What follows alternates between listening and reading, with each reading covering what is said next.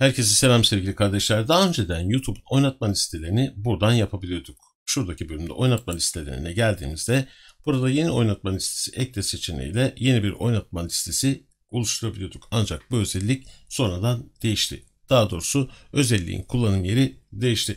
Şimdiki videoda ben sizlere oynatma listelerini en kolay şekilde nasıl oluşturacağınızı göstereceğim. Bundan önce videomu beğenerek kanalıma abone olmayı lütfen unutmayın diyorum. Değerli kardeşler, buradayken veya buradayken veya buradayken veya her nerede olursak olalım yapacağımız iş çok basit. Şuradaki oluştur seçeneğini tıklıyoruz. Burada video yükleme, canlı yayın başlat, gönderi oluştur, yeni oynatma listesi ve yeni podcast şeklinde bir seçenek var. Yeni podcast'te YouTube'a gelen son özelliklerden bir tanesiydi. Farklı, baş başına farklı bir konu. O yüzden bununla ilgilenmeyeceğiz. Şimdiki işimiz yeni oynatma listesini nasıl oluşturacağıyla ilgiliydi. Buradan yeni oynatma listesini tıklıyoruz arkadaşlar. Şimdi buraya İstanbul Vlog paylaşımlar bir başlık yazdım. Yaratıcılığınızı kullanabilirsiniz. Dilediğiniz gibi başlıklar oluşturabilirsiniz. Açıklama kısmında yine aynı şekilde daha önceden video yüklerken video başlıkları ve açıklamalarla ilgili sizlere tavsiyelerde bulunmuştum. Burada da nasıl ki video yüklerken başlık ve açıklamalar önemli, aynı şekilde oynatma listelerinde de oldukça önemli.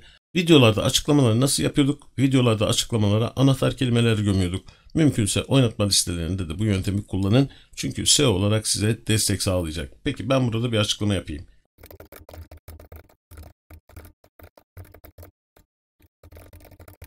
Açıklamayı iki satırlık bir cümleyle de yapabilirsiniz. 4-5 satırlık burası 5000 karaktere kadar zaten destekliyor. Ben bu kadarla yetiniyorum. Şimdi burada okuyalım. Bu oynatma listesinde İstanbul'da gezilecek yerler ve İstanbul'da yaşadıklarımız konulu video içerikler yer almaktadır demişim. Ama bu cümlenin içerisinde gömülü olan anahtar kelime İstanbul'da gezilecek yerler. İşte insanlar YouTube'da arama yaptıklarında sadece şunla bile oynatma listemizden yola çıkmak suretiyle videomuza erişim sağlayabilecektir. İstanbul'da gezilecek yerler bir anahtar kelimedir ve ben bunu cümlenin içerisinde kullandım. Sizler de bu yöntemi kullanın. Sadece burada yapmam gereken tek şey artık bundan sonra oluştur demek. Bundan sonra video yüklediğimde artık İstanbul vlog şeklinde bir oynatma listem var.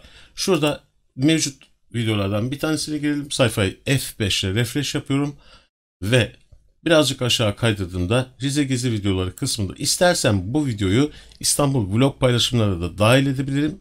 Ama konuyla alakalı olmadığı için böyle bir şey yapmayacağım. Bundan sonra yapacağım videoların oynatma listelerini konusuna göre buradan seçerek yüklemelerimi tamamlamış olacağım değerli kardeşler. Oynatma listeleriyle ilgili daha sonradan istediğiniz oynatma listelerinde düzenleme yapmak veya mevcut oynatma listelerini silmek için yapmanız gereken şey şuradan içerikler bölümüne tekrar geri dönüyoruz. Oynatma listeleri kısmına giriyoruz.